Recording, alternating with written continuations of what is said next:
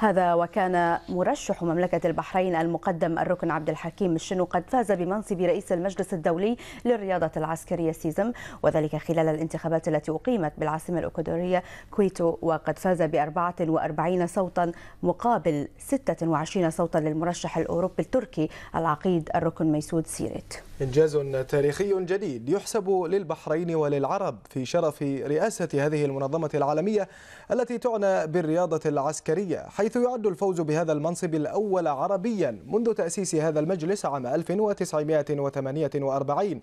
وعقب فوزه بالمنصب الدولي أكد المقدم الشنو أن هذا الإنجاز ثمرة من ثمرات دعم القيادة الرشيدة وتطلعاتها الحكيمة بالتواجد في أكبر المنظمات الدولية والعالمية.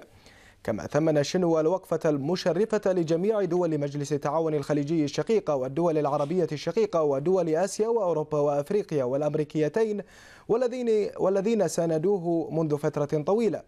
ويجسد المجلس الدولي للرياضة العسكرية تطلعات الشعوب في بسط السلم والأمن العالمي من خلال الصداقة عبر الرياضة.